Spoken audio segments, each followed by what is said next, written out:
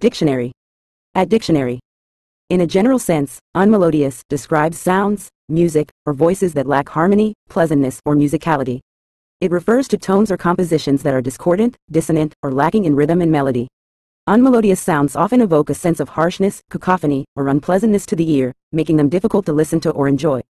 The term highlights a deficiency in the qualities that typically make music or sound pleasing, such as pitch accuracy, rhythmical flow, or harmonic balance.